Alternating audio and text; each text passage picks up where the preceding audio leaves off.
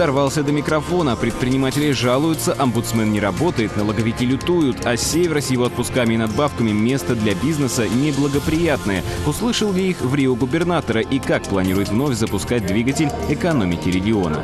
С тряпками, вот в этом дерьме, простите, захлебывались просто. Что нам стоит штаб построить или жилищно-коммунальное хозяйство теперь под контролем? Снег больше не проблема. Почему коммунальщики активизировались только с приходом нового губернатора? Эффективна ли их работа и во сколько обойдутся нам с вами оштрафованные управляшки и очищенные дворы? Здравствуйте, на часах 20.03 вы смотрите настоящий северный телеканал ТВ-21+. На календаре 5 апреля, пятница. В студии для вас работают Татьяна Куфенко. И Сергей Ширяев. В эфире очередной выпуск информационно-аналитической программы «Вовремя». Наша программа – это уникальная площадка для обсуждения. Каждую пятницу мы приглашаем вас вместе с нами подвести итоги недели. Ну, сегодня, как и всегда, мы работаем в прямом эфире и предлагаем вам звонить нам в студию по телефону 230892, код Мурманска 815-2, если вы звоните из области. Также пишите нам под прямой трансляцией в паблике ТВ-21 в ВК и смотрите эфир на Яндекс ТВ. Что ж, переходим к первой теме. В Мурманской области с приходом в Рио губернатора Чибиса появился оперативный штаб с длинным названием по наведению порядка в сфере обслуживания многоквартирных домов и уборки территорий муниципалитетов. Возглавили его министр энергетики и ЖКХ Владимир Гнаевский и глава Государственной жилищной инспекции Алена Кузнецова. Ну и словно по мановению волшебной палочки из города начал исчезать снег, но коммунальная сфера уж слишком непроста, проблема везде. Давайте посмотрим сюжет и вспомним, что происходило в домах и на улицах ну, на этой неделе.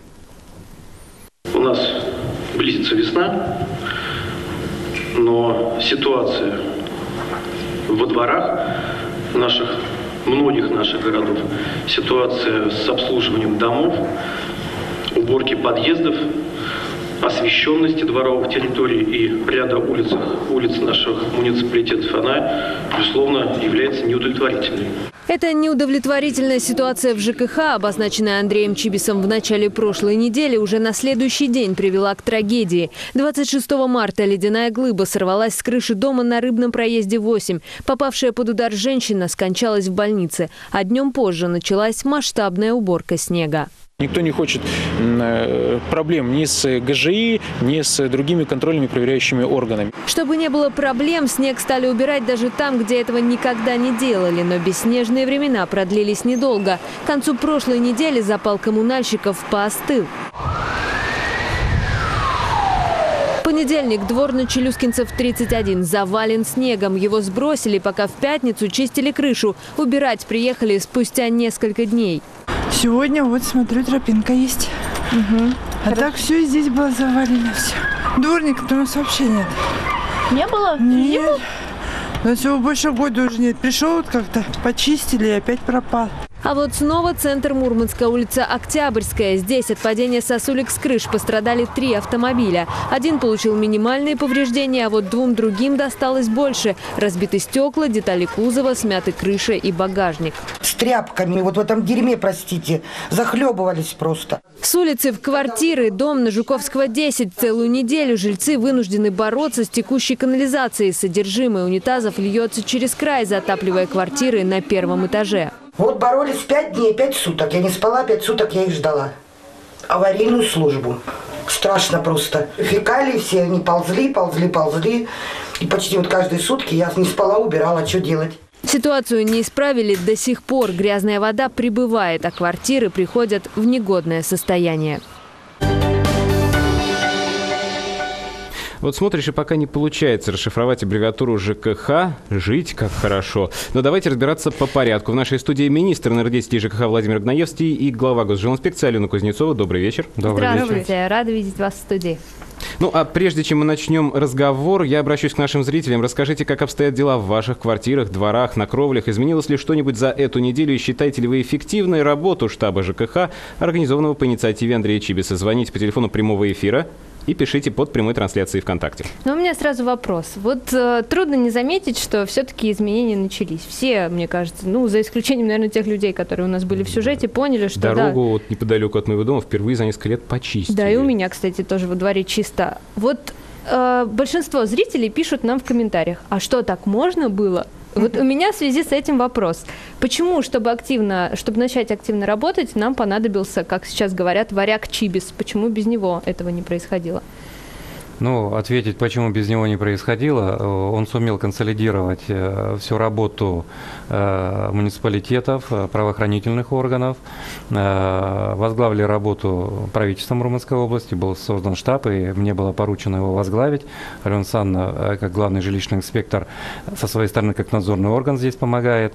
Активизировались и включились в работу активнее и муниципалитеты для того, чтобы вот Э, всеми этими силами надзорные правоохранительные органы, муниципалитеты, муниципальный контроль и э, активная позиция еще и жителей.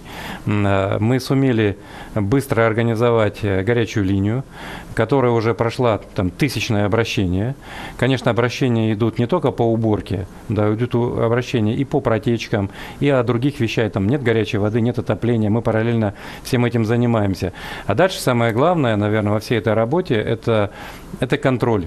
Если сегодня э, контролируют, выходят округа в городе Мурманске, в муниципалитетах, каждый день на территории управляющих компаний, фиксируют, сколько работает людей, сколько техники работает, где не работает. Затем мы проводим там в режиме э, э, там, раз в три дня, там, раз в неделю, собираем в очередной раз управляющие компании по, по городу Мурманску. Я провожу по муниципалитетам, очно, да, по муниципалитетам видеоконференция. Э, тогда начинается эффект. Управляющие компании понимают, понимают, что от них уже сегодня не отстанут. И вот это, наверное, самое главное, что э, сегодня со всех сторон проверяют их финансово-хозяйственную деятельность, да, потому что у них была отговорка, мы заключили договор, да, у нас есть подрядчик, вот он плохо работает. Сегодня проверяет, какие деньги платятся подрядчику, подписываются ли эффективные акты, воруют ли деньги населения, за благоустройство, то, что записано в договоре управления двора. И сегодня, когда цепочку всю связали, правоохранительные органы, организация вот работы э, в части наведения порядка, контроля каждый день, то управляющая компания понимает, что к ним уже приходит ответственность. Куда дели деньги населения? И уже э, отпихнуться от нас, что у меня есть подрядчик, который чистит кровлю, у меня нет своих плотников, у меня есть подрядчик, который вывозит, убирает снег, уже не подойдет. Так воруют деньги или нет? Э, это уже ну, разберутся правоохранительные органы. Да? Но сегодня такая работа по городу Герою Мурманска уже началась. Э, и на сегодня, когда мы проводим штаб там, в очном режиме, надо понимать, вот больше всех обращений да, по городу Мурманску, понятно, размеры города, то управляющие компании уже понимают. Им задают всего там три вопроса. Не надо нам рассказывать там долгие истории. Первое, сколько скатных кровель? График уборки, сколько убрали, сколько работает, когда закончите. Сколько дворов, когда очистите проезжую часть. Второе, когда вывезете снег. Третье, убираете кровли, завтра должны убрать сосульки, которые Чтобы не э, было во дворе. как в сюжете. Да, чтобы не было как в сюжете. Дальше, горячая линия все это берет э, на вооружение. Мы транслируем из горячей линии напрямую главам администрации фотографии, э, значит, э, адреса, обратную связь, телефон, для того, чтобы все это организовать и начать работать. Алина Александровна, куда уже ГЖИ сходила за время работы штаба? Что, ну, уже, что деле... уже нашли? Да, на самом деле, действительно, у нас дополнение к обычным, да, у нас же и так не бывает мало жалоб, да, у нас дополнение к обычным еще поступило в основном, получилось, что к нам э, значит, поступило еще дополнительно целое, э, ну, как бы большое количество обращений, которые уже касаются почищенных крыш, это протечки, э, каких-то других да, ситуаций, Пробили которые, кровли, да, которые касаются именно Усердно. конкретных домов. То есть э, уже счет идет вот дополнительных вот этих э, проработок еще без обращений уже на десятки. То есть это действительно та ситуация, когда на самом деле э, вот это система, да, правильно, вот система контроля, и то, что все объединились, да, потому что какой бы ни был вот один орган, да, мы всегда говорим о том, что 9 тысяч домов, да, никакого одного отдельного надзорного органа, будь то ГЖИ или так, какая-то, да, прокуратура, например, вот областная, там, э, куда тоже много обращений, нет, не поставишь проверяющего каждому. Но когда вот сейчас мы все систематизировали, да, и включились все все. И у нас сейчас информация есть со всех сторон. То есть э, мы фактически дополнительно еще перепроверяем информацию, и мы фактически сейчас еще э, выходим на тот уровень контроля, который у нас муниципалитет, там, где мы, например, приехали, не уви- зафиксировали нарушение, это, например, зачастую в том числе и в других муниципалитетах, да, то мы вот сейчас видим уже подключение муниципалитетов к решениям этих проблем. То есть текущей кровли еще дополнительно как-то включается муниципалитет, вот я заметила в, в части там муниципалитетов, как собственник, например, там части, да, как бы домов. Поэтому а, вот эта системная работа э, позволила нам еще а, обработать еще дополнительные жалобы, которые поступили на горячую линию, несколько десятков, которые не касаются конкретно снега. Потому что то, что мы всегда вот э, говорили, да, нам ну, у нас э, 7 человек, мы не можем выехать да, на все 9 тысяч домов, это нереально.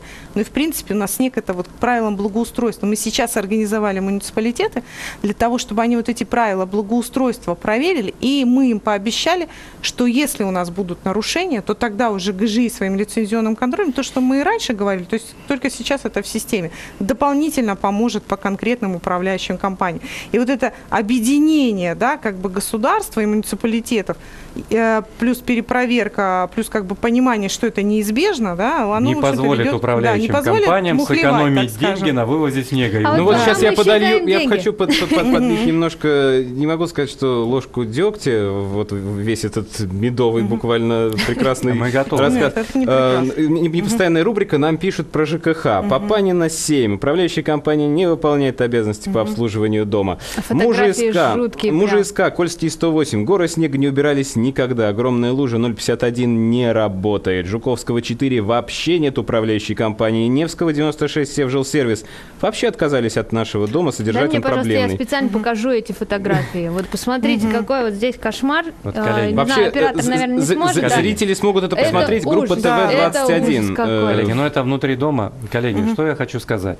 Э, да, мы, да, мы за 10 дней не совершим подвиг, да, и не вычистим дворы э, до идеала, да, до асфальта, и не вывезем снег. Э, может, его и нецелесообразно вывозить, главное, чтобы он людям не мешал, можно складировать э, где-то там... Э, за углом. Э, ну, не за углом, да, а есть места, где можно действительно складировать. Э, проблема ведь э, в чем? Что за 10 дней вот столько как бы техники и ресурса эм, невозможно не привлечь одновременно. Но самое главное, да, первое, да, что управляющие компании сдвинулись с места и начали работать. И не экономить деньги наши, собственников, да, на содержание э, дворовых территорий. А вот насчет вот не экономить деньги. У меня вопрос, да, на, в прошлой неделе на этом же месте у нас сидел Максим Белов, который в Думе представляет как раз-таки сферу ЖКХ, он председатель комитета, и сказал нам следующее следующую вещь, что теперь, несмотря на то, как все активизировались, стали чистить снег, и город, казалось бы, стал лучше и чище, но теперь у нас будут гигантские счета за это. Нет, нет. Это нет, действительно нет, коллеги, так? Не так. Вот нет, еще это не раз. так. Собрание собственников да, определило для себя стоимость содержания ремонта. Никто поменять в одностороннем порядке не может. Много они работали, меньше они работали, это будет меняться на очередном собрании. Так, друзья, если вы увидели Поэтому у себя большие счета за уборку снега, не то имеют не права, нужно ничего не имеют права вообще предъявлять даже такое. Да, квитанция одна, содержание и ремонт.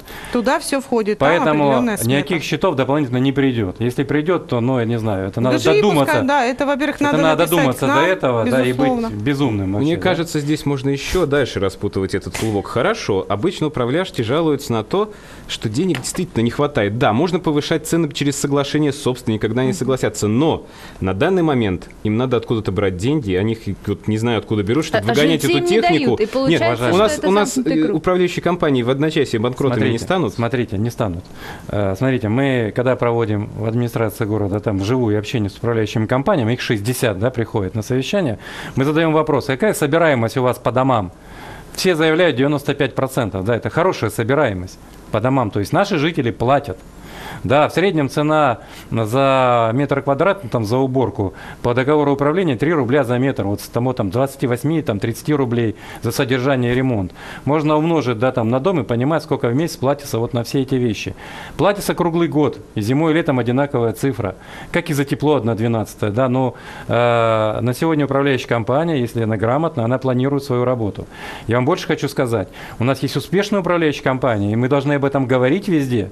Вы говорили, как найти управляющую компанию, которая хорошая. У нас есть успешная управляющая компания. А вот назовите, давайте тройку, может это, быть. это уже на правах рекламы, не Да, надо. это скорее не надо. реклама. Пока Нет, их будет это- топ-3, это это, уже рынка, реклама. Вот да. еще, мы для себя решили, что мы о них будем говорить, да, а, о том, чтобы э, говорить о том, что у нас есть успешная Ну управляющая вот, компания. сейчас есть возможность. Ну назовите, нам, Сергеем, тоже интересно. Все-таки. Ну, Да, давайте ну, топ-три наверное, Алена Санна об этом скажет. Алена да, я вот Ну, как я бы на самом деле немножко- даже не, не буду называть, потому что каждый раз, во-первых, ну, во-первых, это действительно это реклама, а во-вторых, э, я хочу сказать, боитесь, тогда они можно... хуже по- начнут Да, работать? вот, кстати, вот этот эффект, это, это было уже несколько раз. То есть Хорошо, только- Давайте я приведу давайте- на себе пример. Да, Да, я живу дома, у меня на старости на 67 там. Живу обыкновенно в девятиэтажном доме. Вот у меня управляющая компания, да, работает прекрасно. ТСЖ. Но ТСЖ, которая наняла управляющую компанию в том числе. У меня отремонтирован подъезд, да, у меня вывозится снег. Не потому, что я там живу. Да, вывозится снег везде, в тех домах, где работает эта ТСЖ и управляющая компания. Люди сами пришли, как вы говорите. У меня был соседний подъезд, другой ТСЖ. Они пришли, попросились к нашему ТСЖ, присоедините нас, возьмите нас. Горы снега, лужа, не пройти весной. Сегодня там все хорошо. Алена Александровна, нас давайте сейчас э, ТСЖ, людям как раз-таки сообщим о том, что люди сами могут выбрать свою управляющую конечно. компанию. И не просто ходить и оббивать пороги, писать Мне различные кажется, можно довыбираться. Выбрала одну, пойти она выбрать. тебе показательную Есть такие площадку дома. поставила, а потом ушла с хорошего Ну, списка. нужно знать, что нужно сделать, чтобы не ошибиться с выбором. А, Ну, во-первых, э, хочу сказать, что вот есть примеры, когда, например, дом дружный, да, то в этом случае, э, ну, уже готов, да. Э, Были такие случаи, у нас такие дома, в принципе, вот как-то мы много общаемся с жителями, и у нас были такие дома, которые в итоге уходили от управляющей компании в ТСЖ. И это на, на самом деле зачастую правильная схема, когда организуют ТСЖ, есть какой-то активный человек, и он, он же не занимается всем, он нанимает э, управляющую компанию, ту, которая ему действительно окажет качественные услуги. Чаще всего схема такая, потому что в ТСЖ все организовывать, делать у себя дворника, сантехника, слесаря, электрика э, в, в ТСЖ, это тогда получается очень дорого. Они нанимают. Это первая схема, да, первый вариант. И так, такие случаи очень хорошие, на самом деле, большая часть именно такая.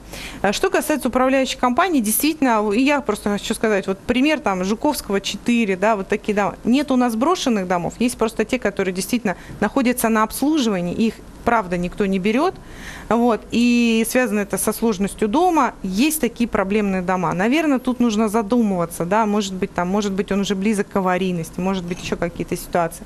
Вот, но тот дом, который достаточно обычный, стандартный, да, ничего там э, с- сверхъестественного, Ну, например, но есть инициативная группа, и- но есть проблемная управляющая компания, и она уже всех достала. Мы говорим, э, вот просто советую жителям. Вы посмотрите, пожалуйста, в своем районе, э, например, та- там, где ну, дома какие-то пройдите, вот вам нравится, где как содержат. Да? А, Вы можете либо на стенде посмотреть, какая управляющая компания, потому что всегда есть от хорошей управляющей компании стенд, либо найти этот адрес в реестре лицензий. На сайте ГЖИ есть реестр лицензий всех домов. Соответственно, вы заходите, находите этот адрес, который вам понравился. Там есть вся информация по управляющей компании. Адрес, телефон, фамилия, имя, отчество директора, э, контакты все есть. Пожалуйста, обратитесь, у вас если минимум три человека, это вы уже инициативная группа, это а, та инициативная группа, которая побудит управляющую компанию с вами разговаривать. Потому что один недовольный человек, это, скорее всего, да, как бы вопрос там такой. А, а три человека, это уже какая-то группа, которая может стать инициатором. И вот если компании вы поговорите с ней, договоритесь, и она будет готова брать ваш дом, то тогда в этом случае она будет сама проводить собрание. Вам не нужно будет проходить, вот всех больше всего пугает, а как я проведу собрание, да, собственников. Это же просто ужас, как трудно, сложно, я ничего не знаю. Обращайтесь, практически э, за все инициативные группы помогают проводить управляющие компании. Причем обычно это два собрания, то есть первое это э, такое, скажем, информационное, когда управляшка приходит, начинает разговаривать с большим количеством жителей. Ну, вот, э, и, соответственно, Второе это как раз уже голосование. Вот достаточно такой, мне кажется, что несложный рецепт, потому что э, это гораздо проще, чем ходить все время как бы в плане, ну, как бы и говорить о том, что меня компания не устраивает. Я просто сама еще до прихода в ГЖИ, да, у меня не получилось организовать ТСЖ, у меня 144 квартиры, и это очень сложно объединить такой огромный дом. Вот. Но попытка смены управляющей компании очень хорошо а, не выбралась тоже. Почему? Потому что стала лучше работать та компания, которая была. То есть она как Еще бы такой вцепилась в дом, да, и стала, в принципе, поняла, что Еще бы 144 144 квартиры это много, и она не хочет нас отпускать. Поэтому, в принципе, дорогу осилит идущий.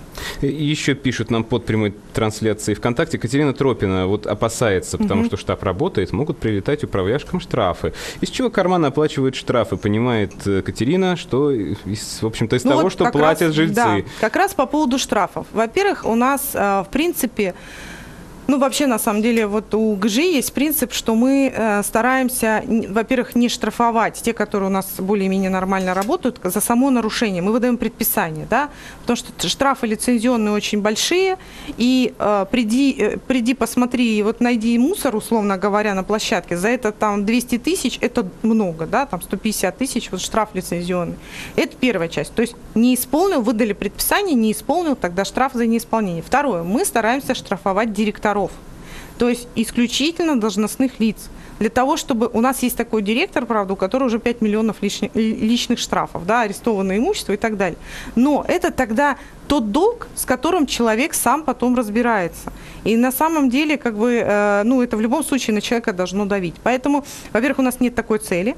И второе, главное, наверное, что я хотела бы сказать про штаб. Штаб работает сейчас не в режиме э, стандартных проверок, э, жалоба, э, проверка, штраф, да, то есть он отрабатывает, почему я говорю про обратную связь, и очень, это очень важно, да, как раз э, получение обратной связи. Мы побуждаем, то есть выдаем требования без проверки, без выдачи каких, ну, выхода на какие-то штрафные санкции. То есть это фактически э, выдача требований превентивная предостережение либо требование. Мы и раньше пользовались этим инструментом, но просто так как там фактически нет штрафных санкций, да, а нужно, как правило, все равно выходим на проверку. А сейчас мы работаем вот в таком превентивном режиме, который не грозит на самом деле штрафами, но мы понимаем, что у нас есть когда жалоба, и управляющая компания понимает, что ей дешевле все-таки, несмотря на всю дороговизну вывоза снега, а, ей дешевле сейчас вывести этот снег, чем мы выйдем на проверку и потом тогда уже наложим штрафные санкции. Вот в этом смысле как раз штаб, он немножко другой. Остается не так много времени. Хочу еще спросить, штаб с нами надолго? Ну, смотрите, первое. Срок годности э, есть Понятно, что не все... По приказу э, 30 июня. Не все, не все дворы мы очистили, как э, ожидали от нас жители. Не везде мы вывезли снег. Да. А, Но вот э, то, что мы встряхнули управляющие компании, и они сегодня знают, Первое, сколько у них скатных кровель, какие скатные кровли а, наибольшую опасность для жителей, да, это скат на тротуар, да, а, сколько у них подъездов, они все это выучили сегодня наизусть. Они знают уже, сколько у них дворов.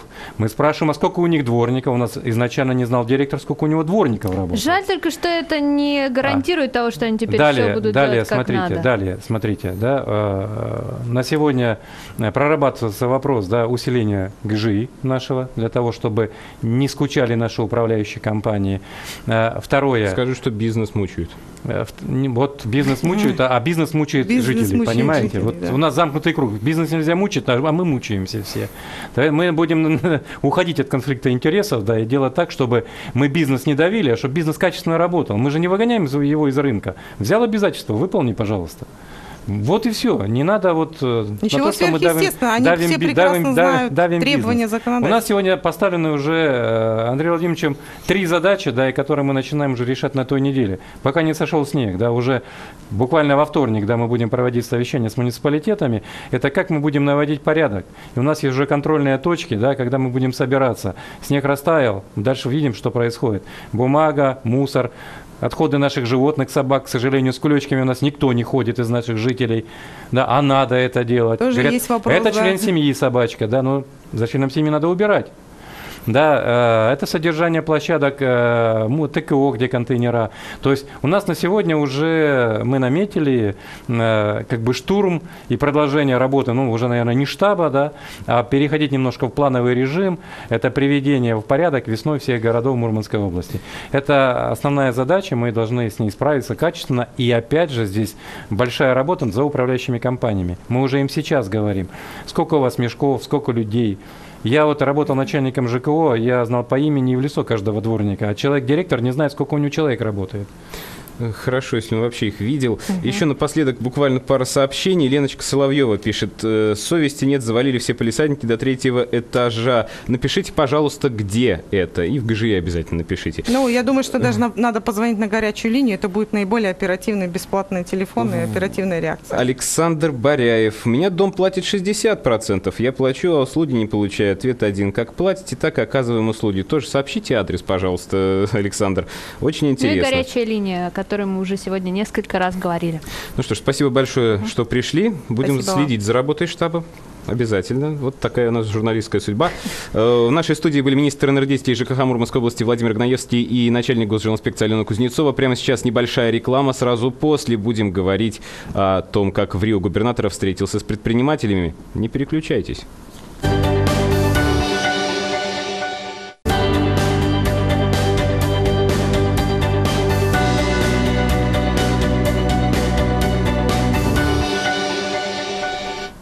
Прямом эфире программа «Вовремя» на ТВ-21+. В студии по-прежнему Сергей Ширяев и Татьяна Куфенко. Мы продолжаем. В Рио губернатор Андрей Чибис продолжает активно работать в регионе. На этой неделе он приятно удивил сообщество предпринимателей. Во-первых, тем, что встретился с ними. Ну а во-вторых, тем, что выслушал все, что их волнует.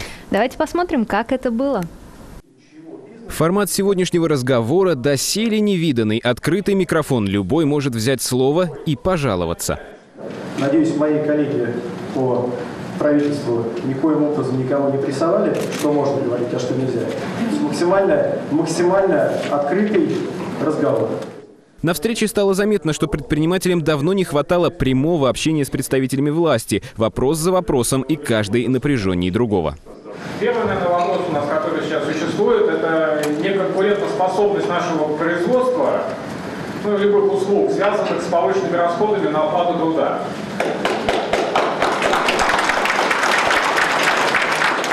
Бизнес пожаловался Чибису. В условиях Арктики с северными отпусками и зарплатами сложно производить продукт с конкурентной ценой. Отменить льготы своим работникам никто не просит, но намекают, что было бы неплохо с платежей сотрудникам, трудящимся на Крайнем Севере, снять налоговую нагрузку. Это предложение в Рио губернатора пообещал подготовить и вынести на обсуждение в федеральном правительстве. Тем временем лавазерские предприниматели пожаловались на повышенное давление со стороны налоговиков и особенный интерес к тому, что обычно у ФНС не должно волновать. Запросы допросы. В том-то и дело. Дошло уже до абсурда, можно так сказать. В нашем конкретном случае э, у нас вызывали даже родителей на допрос.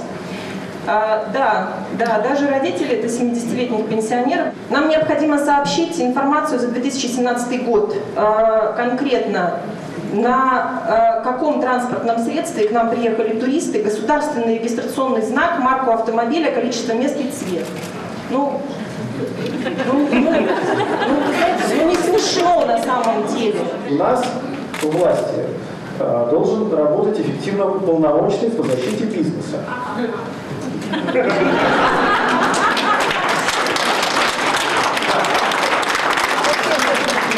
Как фамилия нашего полномочного по защите? Барышев.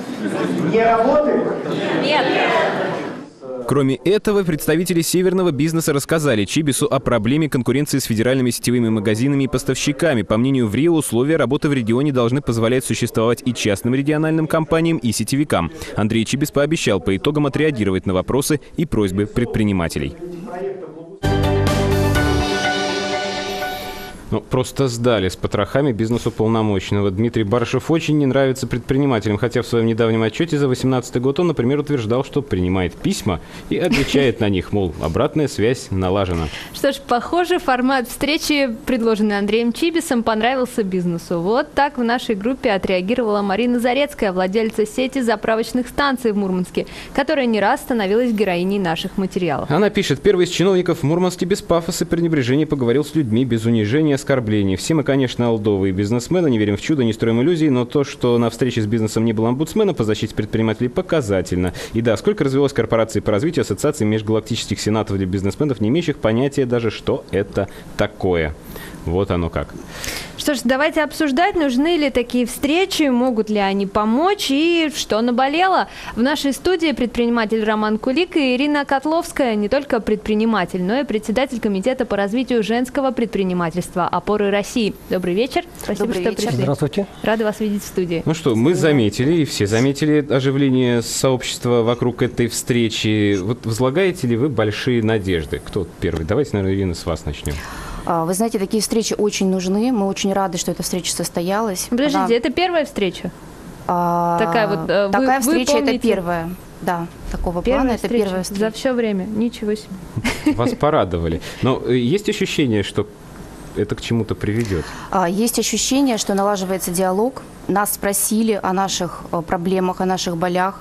А, Мы смогли открыто сказать, кого что волнует. Это дорогого стоит. Роман, а вот э, с вашей точки зрения? Ну вот, Я смотрю, вы не оптимистичны. Многие называют так- такое поведение показухой. Вот вы что скажете? нет, ну почему? Мы увидели руководителя в Рио пока области, как бы его подход, ну, он настолько энергичный, то есть, как бы, мне, конечно, такой подход импонирует. Э, Но собрал не собрал доверяете? всех. Нет, дело не в том, что не доверяем. Дело в том, что мы оцениваем, как бы, ну, будет ли в его силах, возможностях, скажем так, что-то изменить. То есть, как бы, я, вот, допустим, так скептически отношусь. Вот, потому что ну, те вот э, проблемы, которые были вот озвучены, это даже не уровень губернатора Мурманской области. Но с проблемами с этими вы вот в большинстве согласны? Э, Полностью. Все, о чем говорили. Полностью согласен, да. То есть э, основная проблема, которая, вот, э, одна, по-моему, первая была озвучена, что именно вот проблема высокой себестоимости производства э, товаров, услуг на территории Мурманской области, она по сравнению с другими регионами, то есть как бы она де-факто делает наш бизнес неконкурентоспособным. Делает неконкурентоспособным, соответственно, вот то количество малых и средних предприятий, которое у нас идет э, на количество людей, проживающих здесь, оно одно из самых минимальных в Мурманской области. Вот это все следствие. А следствие это того, что как бы вот бизнес несет э, те обязательства, которые на него возложены вот законом о северных гарантиях. Мгм. Ну, есть Ну, гарантии все нельзя отменить. Ну, ну как? По-другому га- здесь жить гарантии нельзя. нельзя отменить, но надо понимать и другую сторону, что когда вы делаете э, значит, бизнес как бы неконкурентоспособным, он уходит с рынка. То есть его де-факто не будет. Ну вы какой-то Надо выход искать какую-то золотую середину. Вот предложили налоги списать вот с этих вы- в- Ну, я зарплат. не очень понял вот смысл, как вот... Но идея была вот такая у юриста, правда, юрист это был, он, видимо, Да, да, да. кто-то ему сильно пожаловался. Ну, хотелось бы ознакомиться, как бы, не знаю. Я думаю просто-напросто, что те гарантии, вот своей точки зрения, как бы, моя точка зрения, что если на бизнес наложили какие-то дополнительные гарантии, там, да, то есть вот эти суммы какие-то ему должно государство компенсировать, потому что, в принципе, эти гарантии несет государство, а выполняет их бизнес. Вы помните, в прошлом году когда было решение Конституционного суда о минимальной зарплате и приравнять э, полярный коэффициент, резко выросла вот минимальная зарплата у бюджетников. С чем столкнулась Мурманская область? Что у нас у, даже у государственных э, служащих, там, работников, э, очень у многих... э, Просто не было средств, чтобы выплатить да, то им есть деньги. им бюджет там заложил одни суммы, вступает решение Конституционного суда, в бюджете Мурманской области не хватает средств. Бюджет что сделал в Мурманской области? Обратился в федеральный центр, как-то компенсировать, не помню, там 2 миллиарда или сколько, для того, чтобы выровнять. Бизнесу никто это не компенсирует. Вот, то есть он уменьшает свою прибыль, он не конкурентоспособен, он уходит с рынка. Ну, лично на вашем бизнесе как Вот это сеч- отразилось? Я еще сейчас хочу сказать, что вот-вот присоединится к нам э, эксперт э, из Москвы. Я хочу спросить, есть у нас уже э, связь с Москвой? Пока нет, Пока нет. поэтому расскажите, э, на вашем бизнесе как это отразилось? Вот эти 52 дня, плюс еще вот эти надбавки Ну вот смотрите, северные. э, вот э, у нас гру- группа компаний, как бы, в том числе одна перерабатывающая компания, рыбоперерабатывающая, да, то есть как бы, то есть у нас основная статья затрат – это заработная плата и платежи с нее работников. То есть работает на предприятии 72 человека среднесписочные. Вот. Я сравниваю, допустим, скажем так, то есть, ну, мы производим филе. Да? Точно так же производят филе там, предприятия там, в Подмосковной области, там, в Санкт-Петербурге там, где-то.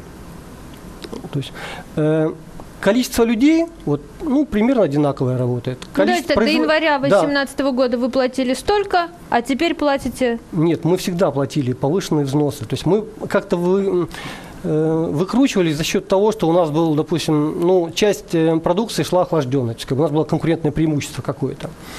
Вот, оно частично позволяло нам прожить. Э, но себестоимость вот, производства у нас продукции, она выше по сравнению с теми, которые, предприятиями, которые расположены в средней полосе. Вот давайте подумаем, как можно решать эту проблему о региональной северной экономике поподробнее. У нас на связи профессор Российской Академии Народного Хозяйства и Госслужбы Сергей Раевский. Прямая связь из Москвы по телефону. Добрый вечер, Сергей Васильевич. Добрый вечер. Здравствуйте. Сергей Васильевич, малый и средний бизнес жалуются, что очень трудно работать и ставить адекватные цены на товары и услуги в условиях севера из-за территориального удорожания. Вот, потому что, увеличены, да. зарплаты повышены. Вот все это безнадежно или предприниматели знали, на что шли? А, ну, в общем-то, это естественное э, положение дел, связанное э, с определенными, ну, скажем так, неблагоприятными климатическими природными условиями. А, это, во-первых. Во-вторых, отдаленность э, региона Крайнего Севера от основных экономических центров – что удорожает э, продукцию, которая необходима для производства каких-то товаров на этих предприятиях. Безусловно, это все э, всегда было удорожающим фактором. Но э, эти факторы можно, как говорят, элиминировать то есть определенным образом э, снизить, если э, для предприятий малого бизнеса, функционирующих э, в условиях отдаленности, будут, э, как это принято во многих странах, определенные э, преференции, определенные льготы, э, которые бы стимулировали их деятельность. Но вот на сегодняшний потому, день, получается, преференций да. не хватает действующих. Да, безусловно, потому что э, на самом деле э, известная практика, когда э, в каждом регионе, э, в других странах существуют десятки э, соответствующих фондов поддержки, которые либо оказывают поддержку с точки зрения упрощения процедур административных, э, финансовой поддержки, либо создают условия э, по развитию инфраструктуры, обеспечивающей развитие предприятий малого бизнеса. Я наблюдал, когда бывал в ряде территорий в других странах, когда государство, прежде чем малый бизнес заходил на эти территории, создавало для этого соответствующие условия и подключение к сетям, обеспечивающим деятельность этих предприятий, было, конечно, по более льготным ставкам, более э, скажем так, приемлемым условиям. И тогда, э, безусловно, малый бизнес может, может выпускать э, конкурентоспособную продукцию. Это, Сер- это раз. Сергей Васильевич, вы знаете, да. Главный еще вопрос, не так много у нас времени. А, вот есть ли предпосылки, что государство повернется к бизнесу на севере и все-таки чем-то вот подобным поможет вот на сегодняшний день, в 2019 году? А предпосылки есть. Вот буквально 1 э, апреля состоялось заседание правительства Российской Федерации, которое рассматривало э, национальный проект по поддержке малого и среднего бизнеса, по которому э, до 2023-2024 года планируется финансирование примерно 500 миллиардов рублей. В этом году эта сумма будет 25-30 миллиардов. Но главный момент здесь, как отмечалось вот на заседании правительства и потом на выездном заседании э, соответствующей группы поддержки малого бизнеса в Перми, это э, участие и консолидированное э, участие и местных региональных властей в этих программах, то есть их готовность принять эту поддержку. Потому что софинансирование для развития малого бизнеса, оно может быть в том случае, когда не только федеральный бюджет, где запланированы средства, но и региональный бюджет должен выделять определенные средства для поддержки малого бизнеса. И вот Спасибо я, большое, если... Сергей Васильевич. К сожалению, да. у нас совсем не остается времени. Спасибо за комментарий. На прямой связи из Москвы с нами был Сергей Раевский, профессор Российской Академии Народного Хозяйства и Госслужбы. Вот скажите, Ирина, э, вот, вот сейчас говорили да, о поддержке действительно ее не хватает, и вот э, ввести, да, какие-то дополнительные вливания денег, они бы сейчас помогли, или все-таки надо э, менять всю эту систему с северными надбавками и удорожанием? А, конечно, нам тяжело малому бизнесу очень тяжело работать, и э, отпуск 52 дня, и э, ну, все это накладывает, естественно, на себестоимость, как мой коллега сказал, и мы становимся неконкурентоспособными. И если нам помогут, если нам дадут, дадут какие-то льготы, если э, какой-то зачет налогов будет происходить, это все, конечно, безусловно, нам поможет и облегчит нашу так жизнь. Вот все-таки надо зачет налогов или еще субсидий, денег и вливания И субсидий мы будем рады разным вариантам. Если э, нам предложат, мы будем принимать эти варианты, рассматривать их. Э, Роман, я знаю, что еще совсем недавно, вот, по-моему, не прозвучала эта тема на э, встрече с губернатором, еще совсем недавно была другая проблема, вы тоже о ней говорили, арендная ставка на землю. Которая увеличилась в 2015 году. Да. В Мурманске, да. Эта проблема до сих пор актуальна? Ну, проблема актуальная. То есть, ну, допустим, это моя точка зрения, что арендные ставки в городе Мурманске э, земли, они не отражают э, той доходности, которую, скажем так, здесь несет бизнес. Поэтому, ну, их просто подняли, как бы, когда мы вот бучу подняли небольшую, да, то есть, как бы, переменили методику, посчитали коэффициенты, заново переделали, но в итоге пришли к тем же цифрам. А что это за Вот. цифры? Вот, э, мы пока говорим, ничего не понятно. Ну, я имею в виду обывателю, который смотрит сейчас нас по телевизору, думает, да что этот бизнес, только и жалуется, вечно ему что-то не так. Давайте конкретные цифры, насколько подняли. Давайте конкретные цифры. Вот, э, значит, мы, вот у нас холодильник примерно 12,5 тысяч квадратных метров территории занимает. Ну, это общая территория, Это, соответственно, если можно, чуть побыстрее. за пятно 30 секунд. застройки, пятно застройки там около там, 3 тысяч квадратных метров. Вот, мы за него платили всегда примерно там 500-600 тысяч арендную плату городу. Вот после э, После вот поднятия этих ставки. поднятий, да, то есть э, у нас ставка вылезла там 2 с чем-то миллиона. И вот я предлагаю продолжить об этом говорить после рекламы. Не переключайтесь.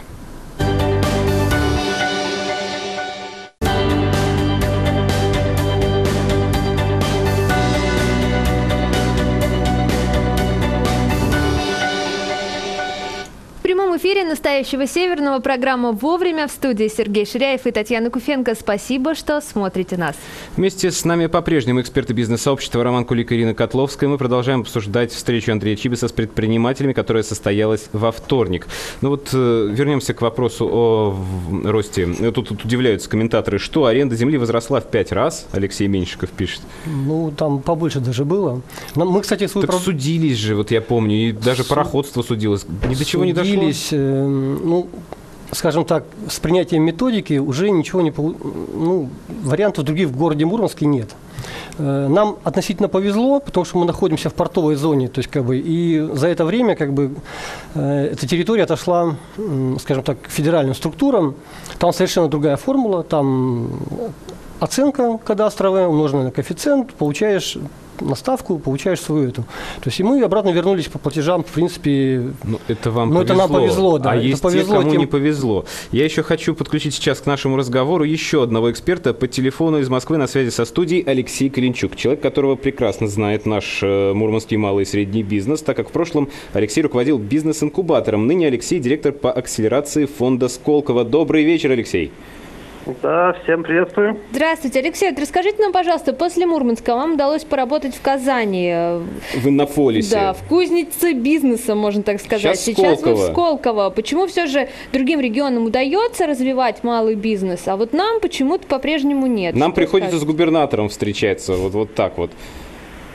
Ну, смотрите, малый бизнес бывает разным. Если говорить про инновационный, то он требует э, достаточно высокой концентрации технологических компаний, э, денег, э, то есть инвесторов, государственных или частных. И чтобы это все было желательно в какой-то одной локации. Поэтому сегодня в России есть инновационные центры фактически в основном в, городах-миллионниках, таких как э, Казань, Новосибирск, э, Питер, Москва, потому что вот эти вещи исполняются. Регионам с численностью меньше а, нужны мостики, нужно больше мостиков строить э, к инновационным центрам, которые э, лежат ближе всего. Наверное, для Мурманска это будет Петербург. А, и собственно, вот такой вот может быть как бы путь, э, такой рецепт. А, ну, это как бы такой, наверное, универсальный такой э, совет. А конкретно, безусловно, даже в регионах, где нет такой концентрации, например, вот э, есть хороший пример города Самары, э, необходимо отстраивать э, полный цикл там, буквально от школы до первых бизнес-шагов, цепочку поиска талантливой молодежи, поиска талантливых проектов, чтобы у них вообще были шансы появиться, и чтобы, если они даже появились, то могли выжить и продолжить развитие. Вот вообще кажется, что да, сейчас будущее за инновационным бизнесом, э, за IT, а мы все время здесь в Мурманске говорим все про одно, услуги, рыба, все такое. Конечно, хорошо и нужно, но на двигатель иногда кажется, что не похоже. А ведь Мурманская область э, могла бы, могла бы стать тоже своим своеобразным центром-кластером. У нас есть переизбыток электроэнергии, например, холодно, можно дата-центры, например, строить. Вот э, что еще может нам помочь, ну, и может быть пора смотрите, строить этот кластер? Интересный вопрос, на самом деле, что когда ты находишься в городе, то вот разговоры людей про инновационные проекты, я сам был, был в этой роли, а скорее воспринимаются неким эфемерным способом. И, а, в принципе, они этим эфемерным способом, эфемерными словами остаются до момента, а, пока не появляется, например, а, большой инфраструктурный проект, или когда не появляется конкретный мостик или конкретная вертикаль, связанная, например, с каким-либо заказчиком а, внутри региона, вне региона, вообще из другой страны. А, именно ну, вот такие вот тяги, такие вот потенциальные там вертикали, может быть, даже связанные с традиционным бизнесом, подтягивают под себя технологическое развитие. Потому что, конечно, говорить, что взять просто в чистом поле построить э, э, инновационную экономику в регионе э, крайне тяжело. То есть в любом случае нужно здесь и со стороны, э, скажем так, активных э, проектов, и со стороны власти отстраивать вертикали осознанно. И в первую очередь, наверное, на старте прямо в ручном режиме. А, инновационный проект без заказчика, он там, бессмысленен, как, как, как бы он ни был инновационен. Вот. Ну, пока и заказчика у нас... Здесь, конечно, наверное, инновации в такой стоят более плохой роли, потому что традиционный бизнес э, запустить как бы проще и легче. Э, для технологических проектов э, нужны более сложные там и, и кадровое обеспечение, и вообще там степень принятия там, технологий, вообще по, по понимание необходимости со стороны самого заказчика, ну, то есть обычно там крупный ну, бизнес. Чтобы уж вот. не обижать и... традиционный бизнес, ему все-таки, надеюсь, еще есть место-то вот в двигателе экономики в МСП? Малому бизнесу или крупному бизнесу? В малом, Мал. в МСП.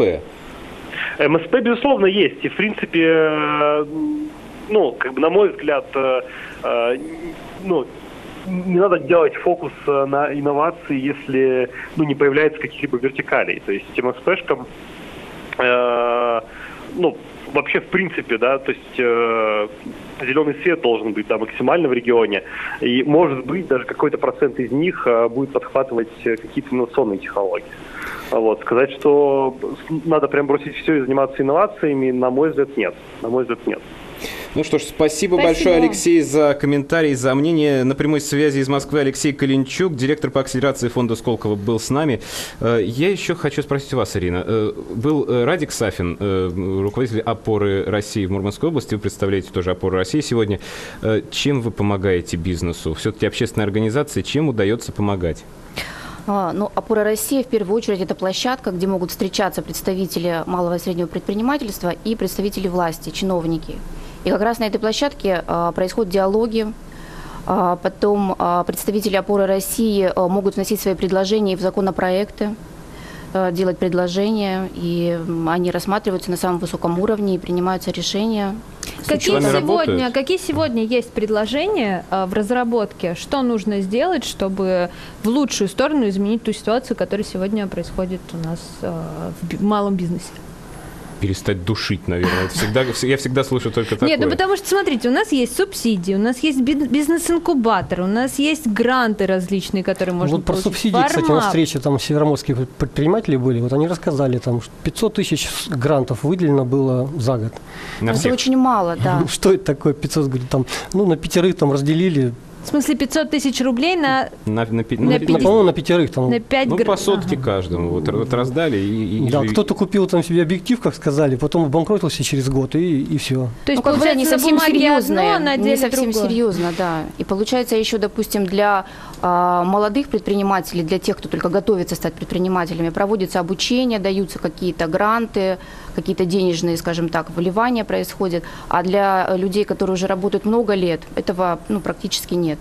Вот поэтому хотелось бы, чтобы и для предпринимателей, которые работают даже там десятилетиями, да, чтобы для них тоже были какие-то программы, чтобы их обучить, образовать, помочь.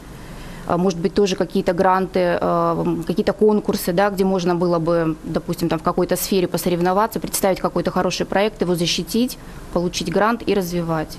Чтобы слышали всех. А, Вот э, мне интересно, Роман, вы все-таки рыбопереработкой занимаетесь, да, были проблемы с арендой. Сейчас есть проблема с, э, вот, с северными, всегда есть. Проблем Вот, но Сплошные есть проблемы. ли э, хоть какой-то бизнес, вот, э, Ирина, к вам тоже вопрос, э, какая-то сфера бизнеса в Мурманской области, которая все-таки чувствует себя более-менее неплохо? Куда еще вот другие предприниматели, которые не стали вашими Ну вот коллегами, смотрите, могли пойти?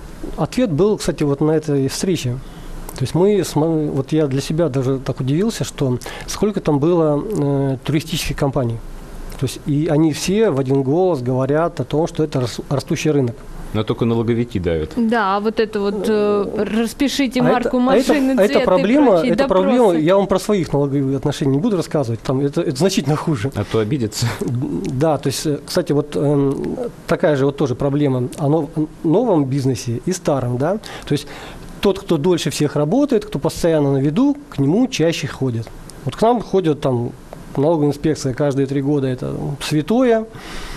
Каждые три года мы, нам выкатывают какую-нибудь сумму. Потом мы 2-3 года судимся. Причем все суды мы пока выигрываем, пока. Нам возвращают эту сумму.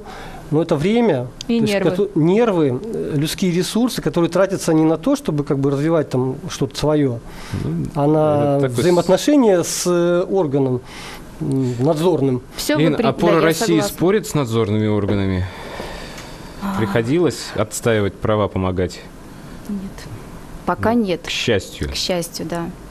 Но на самом деле я соглашусь с коллегой. а, Судов вот в моем бизнесе, слава богу, нет, да, но а, раз, э, раза два в неделю приходят письма ну, различные с налоговой инспекции с запросами там что-то пояснить, почему налог рассчитан так, а не по-другому.